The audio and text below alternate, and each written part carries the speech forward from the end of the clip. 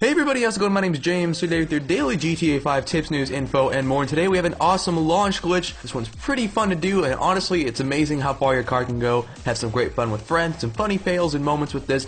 Either way, before we get started, I want to remind everybody that I am doing an Astro A50 headset giveaway for celebration of 200,000 subscribers.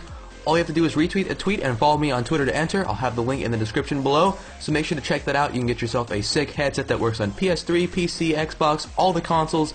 It's amazing, has great sound quality.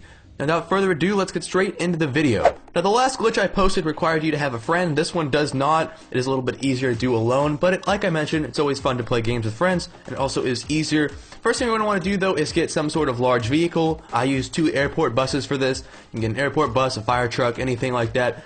Head over to the airport gate all the way on the side of the airport that you enter from the freeway. Simply drive through and around, the gate will open and then park all the way against the pole.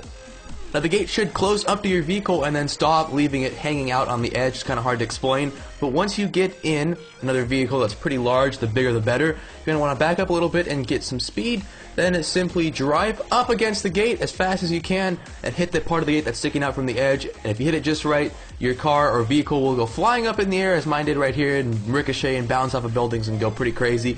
It's really fun to do. You can have competitions with friends and stuff to see how far your car can launch. Very fun stuff. Now, if you enjoyed the video, please make sure to support it by leaving a like. A quick little funny glitch you can do. I like this a lot. I love launch glitches. This isn't really a game-breaking glitch or anything. Also, if you're new around here, make sure to subscribe for some more awesome daily GTA 5 content. I'm on the road to 300,000 subscribers. Last but not least, Make sure to follow my Twitter like my Facebook. Take advantage of that giveaway. There's a pretty good amount of entries, but trust me, you will want to win this headset. It is amazing. I love Astro headsets. You should too if you haven't tried them. They are literally life changing. I use mine for everything I do.